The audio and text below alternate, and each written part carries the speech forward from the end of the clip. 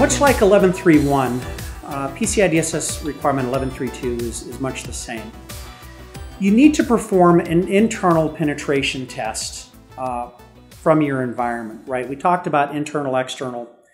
Uh, these tests need to be performed by qualified, competent staff. Uh, the tests need to be performed annually after any significant changes. Uh, anything that was identified as part of that test needs to be uh, resolved, and then retests occur to uh, to validate that you've closed out those issues.